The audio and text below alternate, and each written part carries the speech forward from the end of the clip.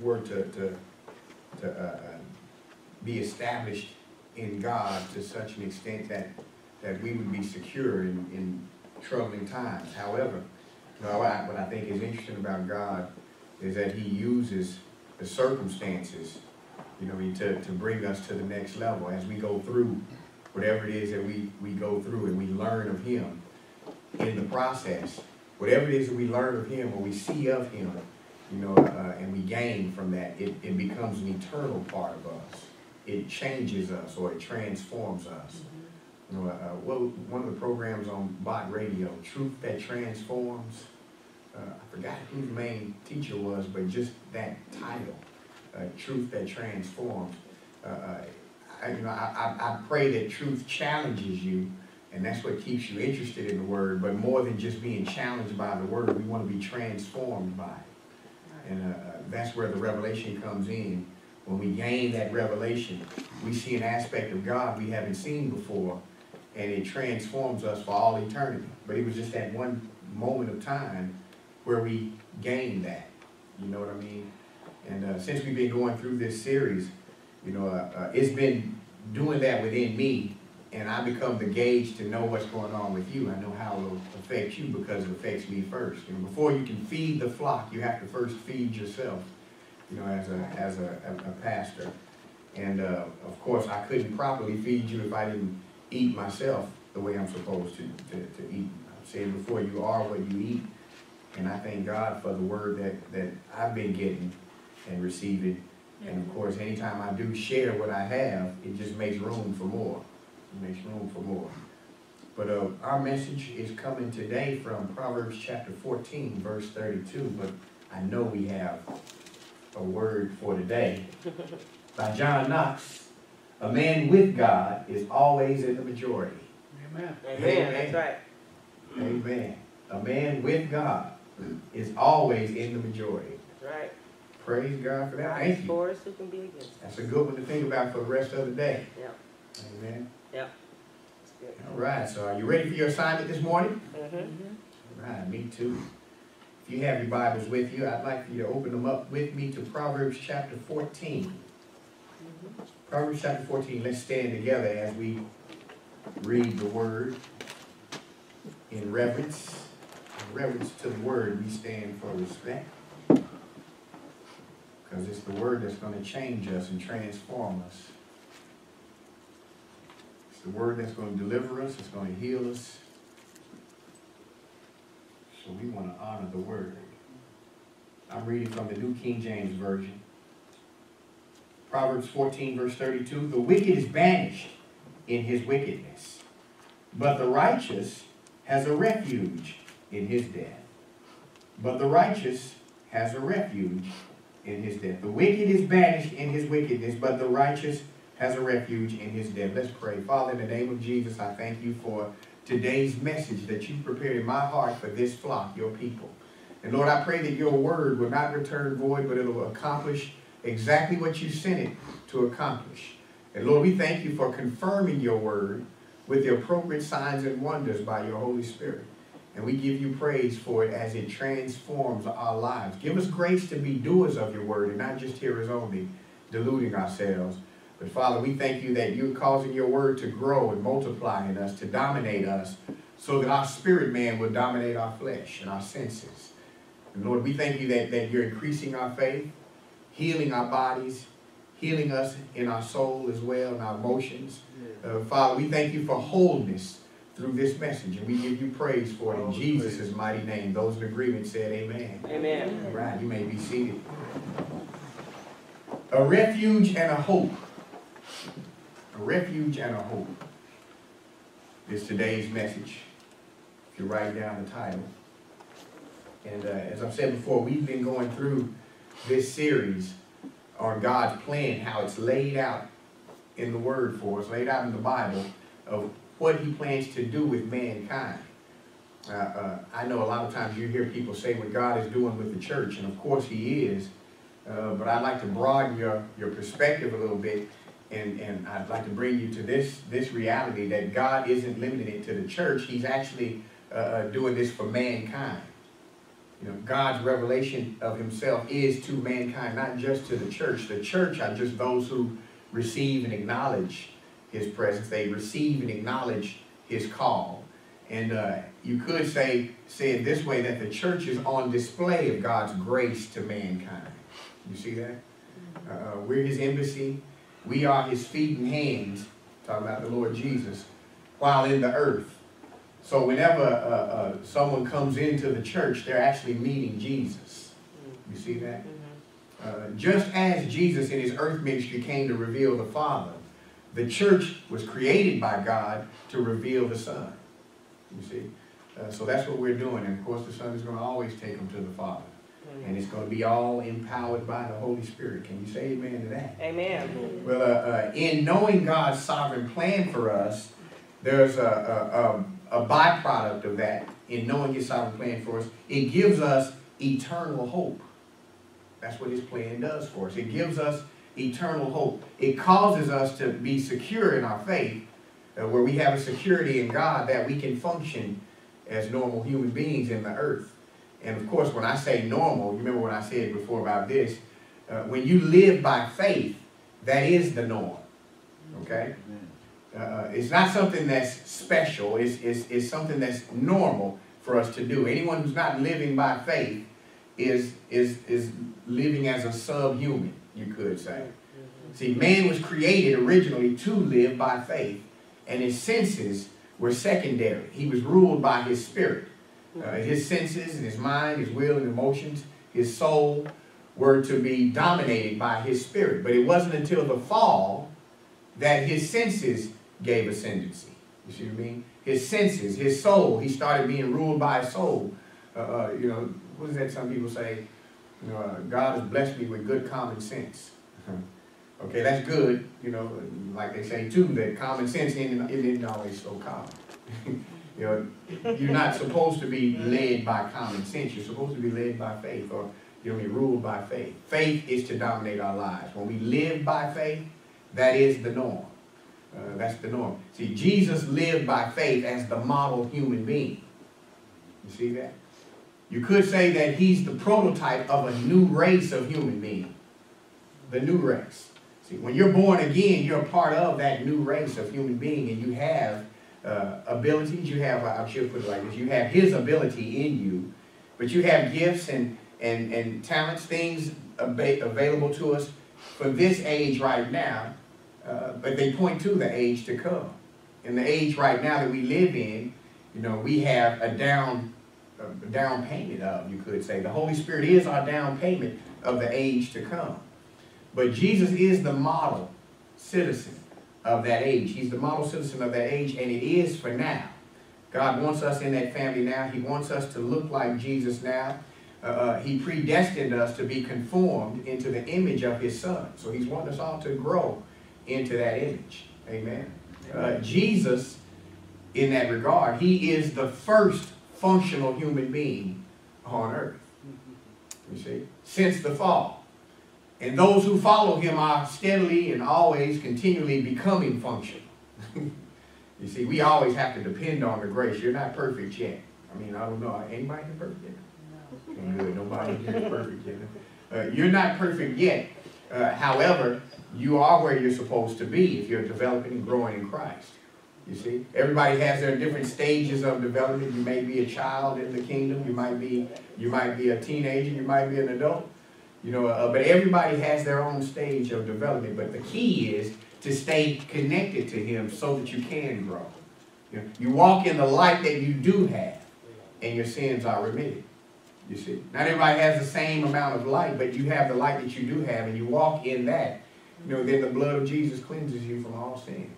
Amen. Wonderful benefits in in Christ. But knowing God's sovereign plan for us, it gives us an eternal hope an eternal hope. Everybody say hope. Hope. Hope. Now, what does this eternal hope do for us? What benefit is there in this eternal hope? I'm glad you asked. But see, hope in the heart, uh, uh, hope in the heart, it gives us patience. It gives us strength. And not just to have patience and strength, but that hope in the heart gives us strength to endure hardship. It gives us strength to endure calamity. Uh, and it gives us strength to endure all the other pressures that come against us in life. It's good to have something like that, knowing that you're gonna have pressures in life. How many of you realize that you're gonna have pressures in life? You know, when you came to Jesus, uh, you read through the Gospels, you found out that Jesus, he said this, you know, I'm not gonna promise you a rose garden, because in this world you will have tribulation. Yeah. You're gonna follow me, and I'm gonna teach you, I'm gonna be your, you're gonna be my disciple in life, but you're gonna still have tribulation. But be of good cheer, be of good courage, for I have overcome the world. That's great news. You see? Uh, because you're following him, you'll be able to endure anything that comes up against you in life. Now here's something to think about too right here. Now, uh, what exactly, you gotta ask the right question sometimes. Now, what is a characteristic of hope? You know, I would think it'd be something exciting to preach about, but it's, it's, a, it's, it's something that you have in your arsenal uh, that will help you against the enemy. Now, here's a characteristic of hope uh, that you might want to make, make note of. See, hope does not allow us to bypass difficulty, but it does give us the strength to go through them. That's right. That's what hope does. It gives us the strength to go through whatever difficulties that we might have. So look at your neighbor and tell them, hope, having hope is a wonderful thing. Having hope is a wonderful thing. Having hope is a wonderful thing. That other one next to the other side of it. Having hope is a wonderful thing. Tell them. Did it die off? Yeah. Having hope is a wonderful thing, but see, in contrast to that, what does it mean to not have hope? See, that's what you got to look at. What does it mean to, to not have hope? Well, having an outlook of hopelessness, what that can do is it can sap the initiative out of you. It can sap you of your strength, and it can sap you of the very will to live. It's interesting how some people have a will to live. God put you put that there. He gave you a will to live. Uh, I recall one of my customers who just went through through. Uh, uh, he's a cancer survivor, and uh, he went through several treatments of, of chemo. Uh, we went to Langston together, Langston University together, Melvin Gaines, and Melvin is a Christian himself. He's a Christian, but he's not. He's not necessarily one of those ones that sit there and just talk to you about scripture and things like that. He's just a good good country boy, you know, and, and, and, and down home kind of guy. He goes to church every Sunday, you know, things like that. Or I should say when he can. But what I noticed about him uh, that I made note of is while he was going through this cancer, you know, the doctor gave him a glimmer of hope. You know, he says, this cancer, you know, you got, you're gonna have to go through these, these treatments. It's gonna be aggressive. However, uh, uh, uh, the kind of cancer you have is curable. That was all he needed. When he said it was curable, he said, okay, good. Well, we're gonna go ahead and beat this thing. And, uh, you know, I noticed how he, he would talk about it. You know, yeah, I can't wait till after we do this, I'm gonna get my weight back up and, and, uh, start working out again and doing, I can't wait to get back in the gym and start playing basketball. See, he was an athlete. Uh, uh, and I, you know, I remember he, that well-built kind of guy. He started his chemo and I watched him diminish. I watched him look like he turned into like an old man on me. And, uh, uh, it hurt me to see him that way. However, what always remained the same was his, his attitude and his speech. You know, and, and, and, and it made his process that he went through kind of like an adventure. He's like, hey man, I can't keep nothing on my stomach. You know, I've been trying to do this and such and such, but you know, the doctor gave me this and it helped. And you know, but it was fun to him for some reason. It didn't scare him or anything like that. Whatever his body was doing due to the radiation, you know, he would talk about some complications, but he was getting through it. He would just talk to his doctor, and they would experiment some things would happen, you know. But he was going through the whole thing with that same positive outlook. After he finished his treatments, you know, uh, uh, he did just like his plan uh, that he was telling me about. He, he followed it all the way through and gained his health back, his strength back. And the funny thing about it is his hair changed. You know, I mean, uh, the, the whole texture of his hair. We used to try to do everything to his hair to make it do something that it wouldn't, it wouldn't do, you know, because of DNA, you know, you wouldn't help it, the chemicals couldn't help it. You know, but now, for the funny thing about it is, everything we tried to get it to do then, after the chemo treatments and his hair has grown back and things like that, his hair does now. We have a hard time cutting it because it grows like that, you know, but it's a, it's a good thing. It's a good thing that he has, but I noticed his will to live. Mm. You see that? He had a will to live, and that's something that's God-given.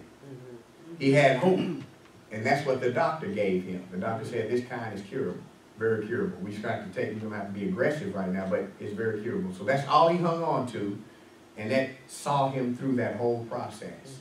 it made the whole process more like an adventure to him instead of something scary and something to, to, to, to whine and complain about. You know, uh, and I'm not saying anybody who's going through that, you're whining and complaining. Please don't be offended by that. You know, uh, I'm not being insensitive, but noting, noting his will to live and how it would come out in his speech shows me that hope is a powerful thing. It's a wonderful thing to have. When you have an outlook of hopelessness, it saps you of initiative, it saps you of strength, and it saps you of the very initiative to live. But I got a little, I got some good news for you. See, that's not the fate of the soul that is committed to Jesus. If you're committed to Jesus, you don't have that, that fate of a lack of initiative, uh, uh, sapping of strength. You don't have that. I want you to look at that Proverbs 14 again, verse 32. Now, we're going to pull some things from here. And I have two PowerPoints for you today. Now, I said I'm reading from the New King James Version, so it's going to word it differently than the next version that I want to give you. But from the two versions, we're going to get something clear. All right? The wicked is banished in his wickedness, but the righteous has a refuge in his death. That's the New King James Version. The New King James Version. But when you read the King James Version, sometimes I like looking at that version because it, it, it words it in such a way to make you ask questions. In this case, uh, uh, it, it, it, uh, uh, uh, it presents the question, I should have did vice versa. Because this is what it says in the King James Version, as opposed to refuge in death, it says hope in death.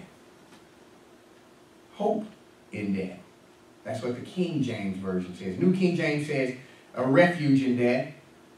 And the King James Version says hope in death. So write this down as your first uh, uh, PowerPoint for the day. For the soul committed to the Lord. Here it comes. For the soul committed to the Lord, there is a refuge and there is a hope, or there is hope, even in the valley of the shadow of death.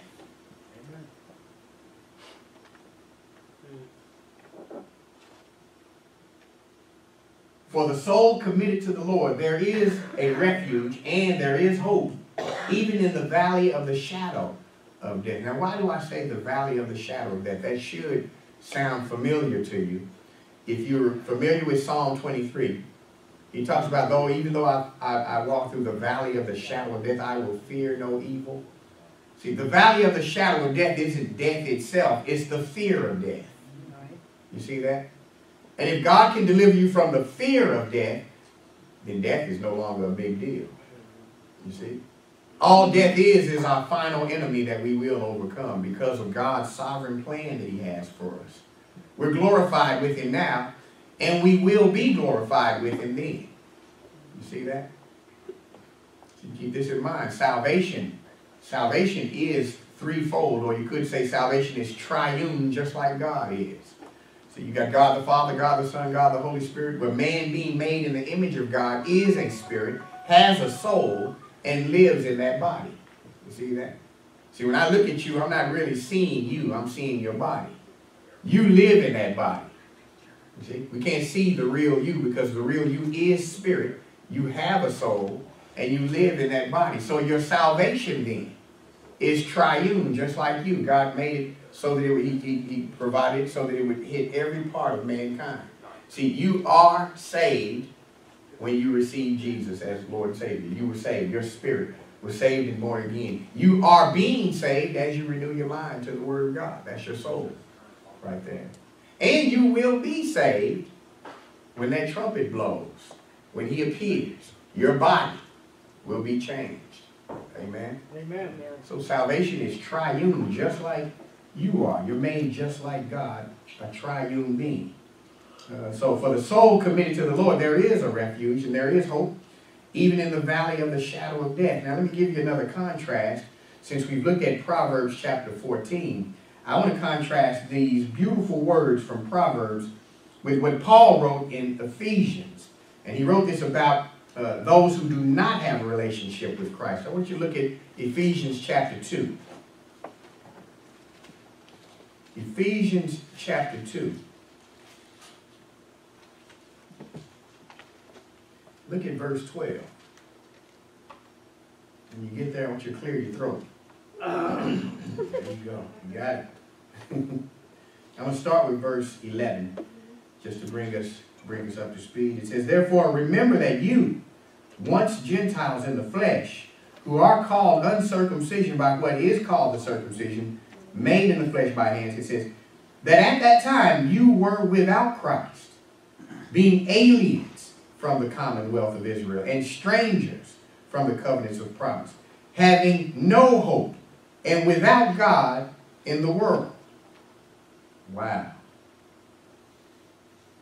Having no hope without God in the world. Who was Paul's audience? Who was he talking to? Well, he was he was actually writing to Gentile believers who had never known anything about the Lord until they heard the gospel. These people heard the gospel and they had no other connection with God other than the gospel. Well, here's the significance of that. They didn't have a background in the scriptures and they didn't have any past knowledge of the true God. That's the significance of this audience that he's talking to right here. Excuse me. Uh, so why did that, why, why, why, and since we're looking at that, uh, why in the world would you say that they have no hope? You see, these are some of the saddest, most miserable words in the Bible when you know the heart of the Father. You know, having no hope in the world without, without God. So I want to give you this revelation. See, why do the people have no hope? The reason they had no hope was because they had been separated from Christ. They were separated from Christ. So here's a revelation I want to give to you. This is your second PowerPoint, second and final PowerPoint. You ready? There we go, number two. Good job, Delaney. the soul who is building only on the sands of time, who has never made a commitment to the eternal rock, that's Jesus Christ, is without Christ, without hope, and without God.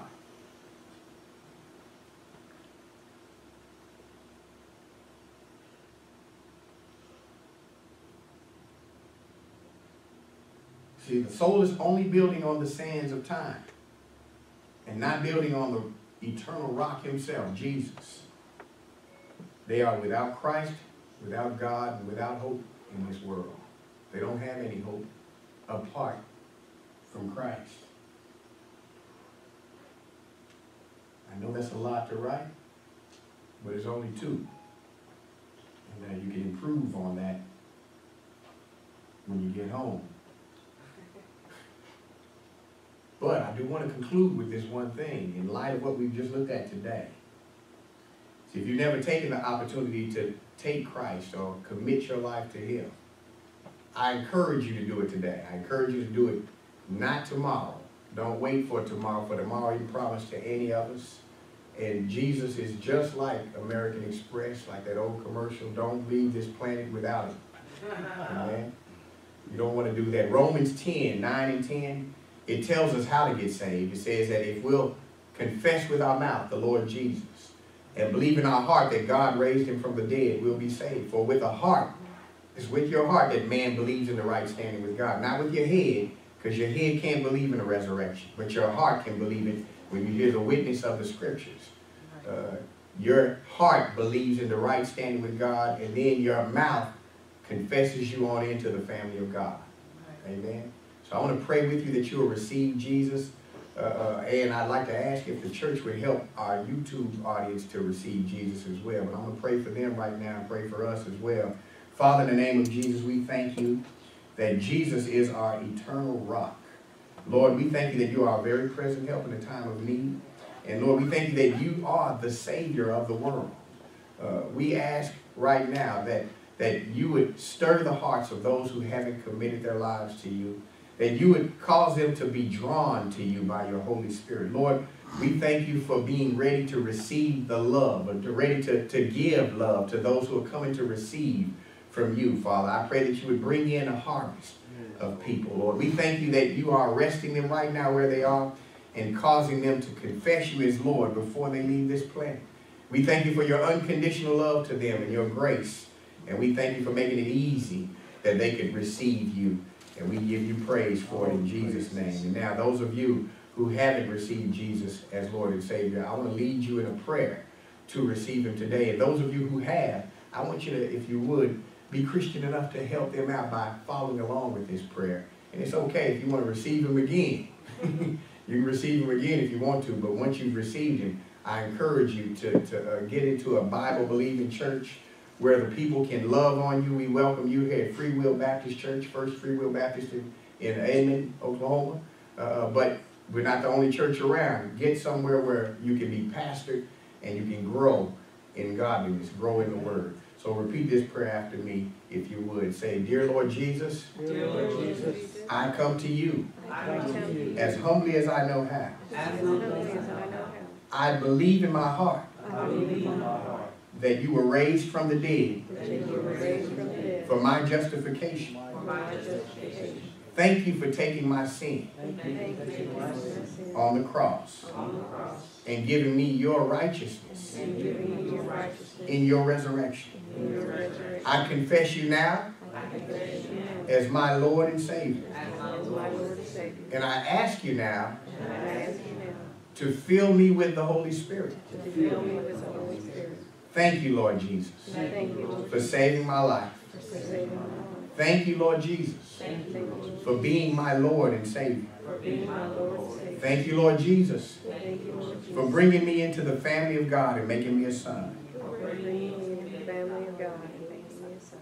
And I give you praise for it And I give you praise for it. in Jesus' mighty name. Amen. Amen. Amen. All right. All right. Give the Lord a hand of praise. And uh, I want to leave room for questions